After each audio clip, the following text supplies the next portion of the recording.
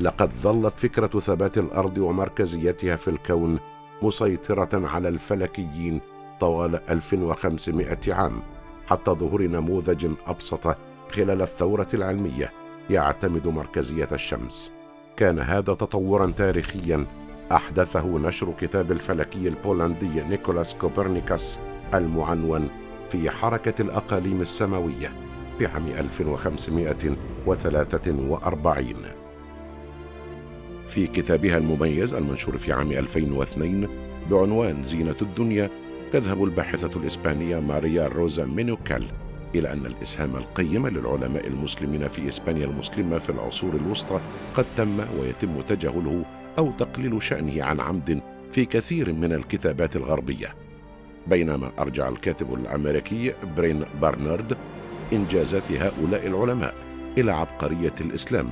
في كتاب له بنفس العنوان صدر في عام 2011 وأضاف له عنوانا فرعيا هو كيف صنع المسلمون العصر الحديث؟ لقد استلهم الفلكيون المسلمون آيات قرآنية مثل تلك التي وردت في سورة الأنبياء وسورة ياسين وهم يقومون بدراساتهم الفلكية القائمة على الملاحظة والاستنتاج. لقد أدت بحوثهم إلى إثبات مركزية الشمس في مجموعتها. إن أعمال الخازن وأبي ريحان البيروني وابن الشاطر والقزويني والطوسي والزمخشري وفخر الدين الرازي مع آخرين كانت تترجم إلى اللاتينية وتقرأ في مكتبات الأندلس خلال ثلاثة قرون ممتدة من القرن الحادي عشر إلى القرن الثالث عشر للميلاد محققين سبقا بينا على اكتشاف كوبرنيكوس لمركزية الشمس بمئتي عام على الأقل. ولنأخذ مثلا كتاب الرازي المرجعي التفسير الكبير المنشور في نحو عام 1179 للميلاد. كتب يقول فيه إنه على الرغم من أن الأرض قد وصفت في آية بأنها قرار فهي توصف في آية أخرى باعتبارها كوكبا وكرة سماوية.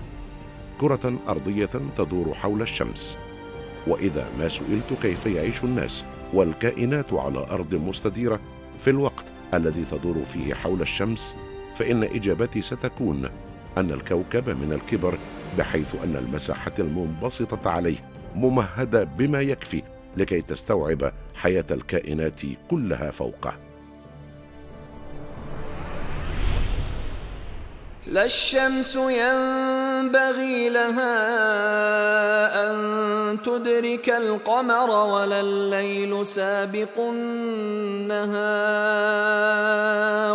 وكل في فلك يسبحون.